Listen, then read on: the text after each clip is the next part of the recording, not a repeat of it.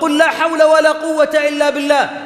لماذا في الصلاة في الأذان إذا قال المؤذن حي في الحيعلتين حي على الصلاة حي على نقول لا حول ولا قوة إلا بالله. لأن لن يأتي للفلاح والصلاة إلا من أراد